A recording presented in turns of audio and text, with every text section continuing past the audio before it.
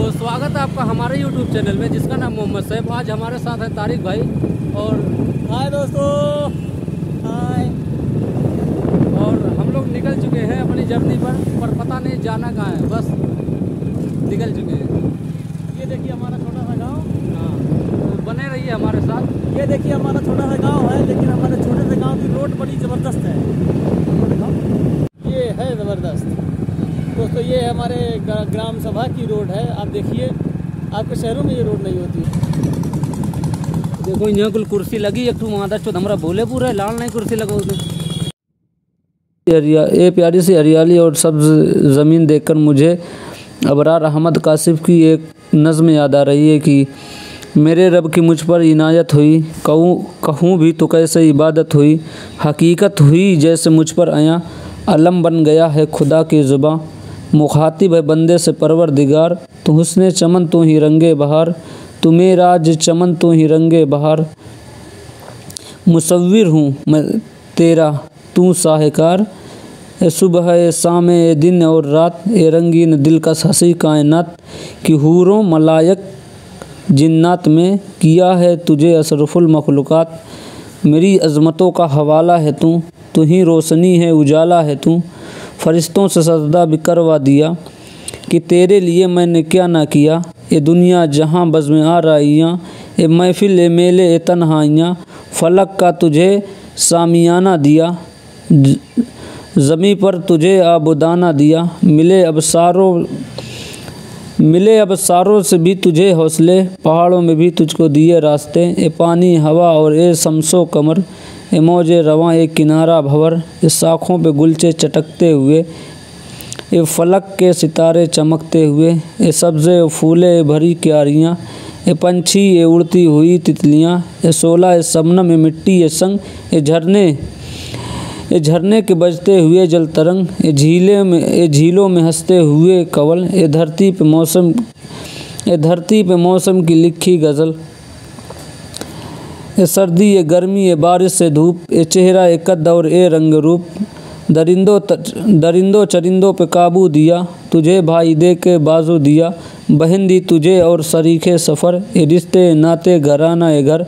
औलाद भी दी, दिए वालिदैन अलिफ, लाम, मीम, काफ और ऐन गैन। अकलो जहानत, सऊर व नज़र, ए बस्ती, ए सेरा, ए खुशकी व तर, और उस पे किताब और उस पर किताब हिदायत भी दी, नबी भी उतारे शरीयत दी। गरज के सभी कुछ है तेरे लिए, बता क्या किया तूने मेरे लिए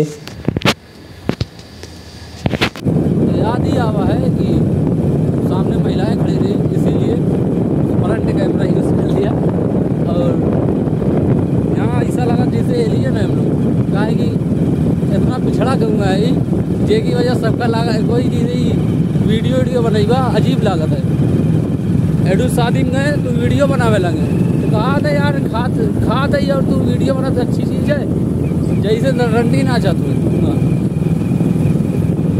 जैसे वहाँ रंडी नाचत होए, और लागत है उन लोग का कि जो ना, मैं रंडी का वीडियो बनाता हूँ। मार।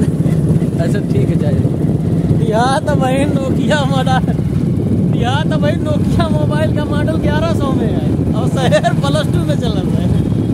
यही वजह से ना ही लोग और यहाँ के लोग का लागत है कि सोशल मीडिया का यूज़ यूट्यूब का यूज़ गाना के लिए और फेसबुक का यूज़ फ़ोटो डालने के लिए शादी ब्याह वाला और जो है क्रोम का यूज़ पोर पोर्न देखे के लिए और मोबाइल का ऐसा ज़्यादा यूज़ नहीं है। और बात करे के लिए थोड़ा मोड़ा बस। और माल है तो चौबीस घंटा। लगे रहो। लगे रहो। बीस रुपये में सौ मिनट वाला रिचार्ज करेंगे हाँ। और खाली बतिए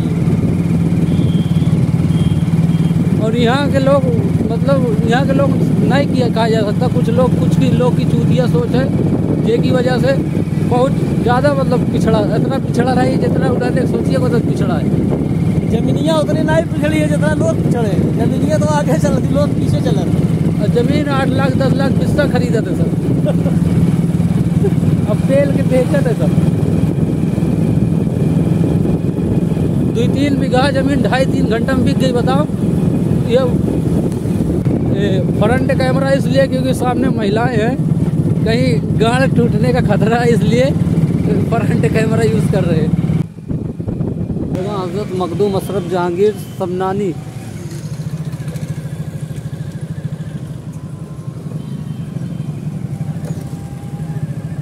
आ गए हैं हम किशोर दरगाह शरीफ, जो एक किछौछा में पड़ता है।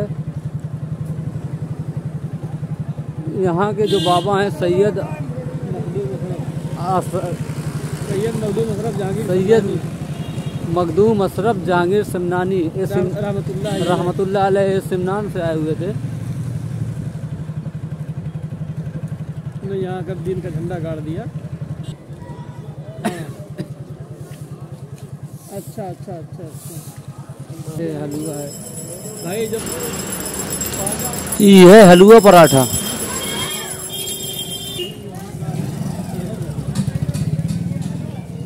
ये है सलामी दरवाज़ा लगभग किचौसा शरीफ का सलामी दरवाज़ा।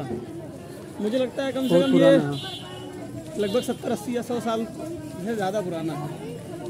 बेहतरीन। दबाई यहाँ पर बहुत से जायरीन आया करते हैं। तमाम लोगों की बहुत सी परेशानियाँ यहाँ दूर होती हैं।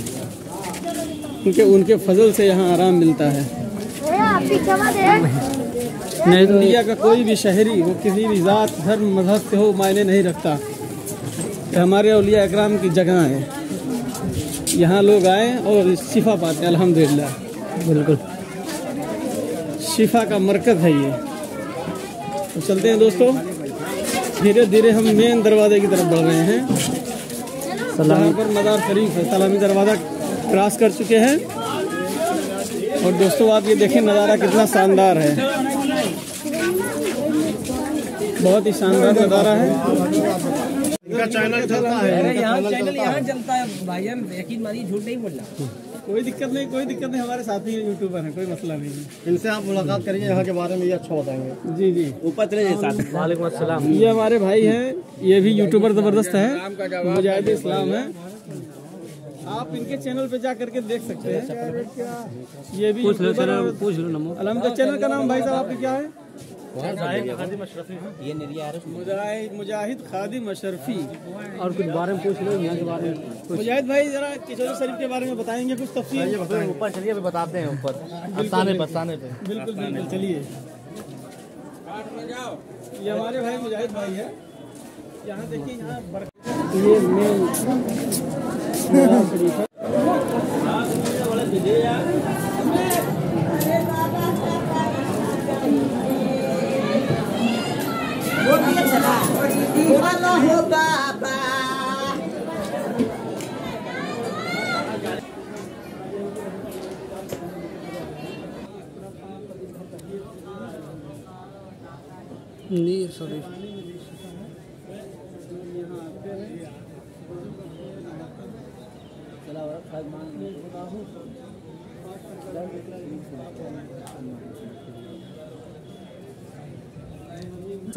जिस दर पे आप लोग मेहमान आते हैं तमाम लोग ज़ैर या ज़ैरीन लोग यहाँ की ज़ियारत करने के लिए यहाँ पर जो हज़रत सुल्तान सैयद मखदूम अशरफ समनानी रखमतुल्लाह का आस्थाना आप सामने देख सकते होंगे। जी जी जी। यहाँ पर कुछ मज़ारे भी यहाँ पर कुछ मज़ार भी आप देख सकते होंगे बाहर जो आस्थानी के बाहर हैं।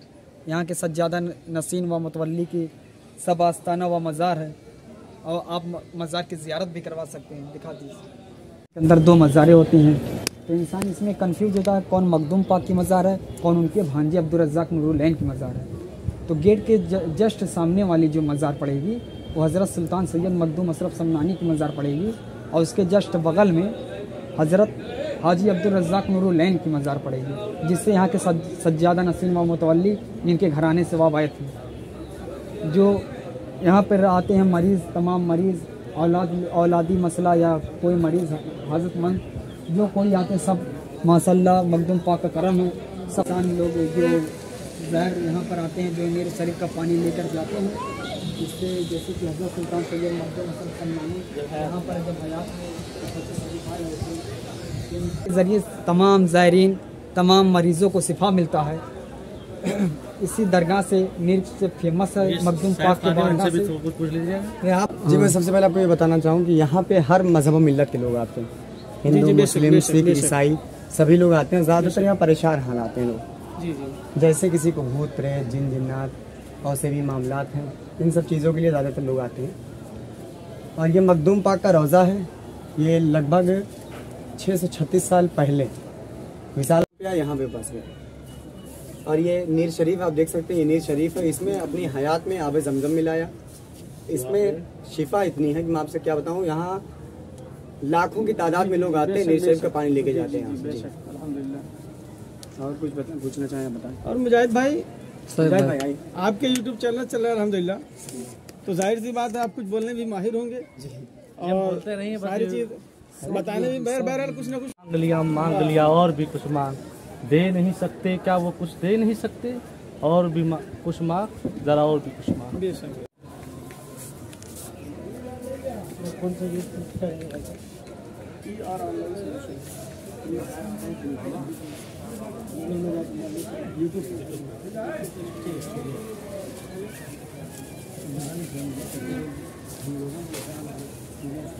अब मैं अपने लफ्ज़ों में आपको हज़रत मखदूम अशरफ सिमनानी के बारे में बताता हूँ कि उत्तर प्रदेश ज़िला अंबेडकर नगर किछोछा शरीफ की ज़ियारत करने दूर दूर से लोग आते हैं। किछोछा शरीफ में हज़रत मखदूम अशरफ की याद में हर साल 27 मुहर्रम को बड़ा उर्स लगता है, जिसमें दुनिया भर के ज़ायरीन आते हैं। हज़रत मखदूम अशरफ सिमनानी का जन्म ईरान सिमनान शहर में हुआ था। सिमनान सत्ता संभालने के कुछ वर्ष बाद उन्होंने फ़कीरी ले ली थी। लखनऊ से फैज़ाबाद और अकबरपुर होते हुए किछौछा शरीफ पहुँचा जा सकता है। कुल दूरी सौ किलोमीटर है। हज़रत मखदूम अशरफ सिमनानी ने पैदल विश्व के कई देशों की यात्रा करते हुए सूफी मत के सिद्धांतों और उपदेशों का प्रचार प्रसार किया।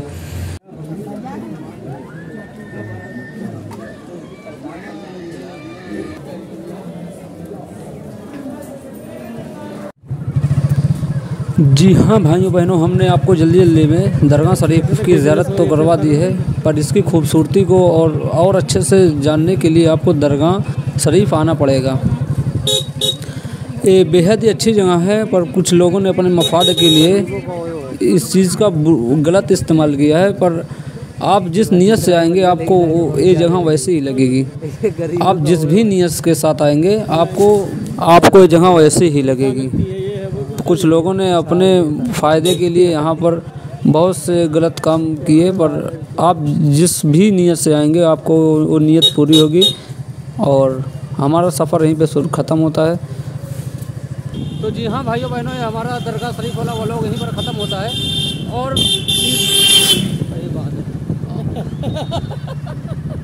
क्या है अब हम कहते हैं किचौचा को अलविदा।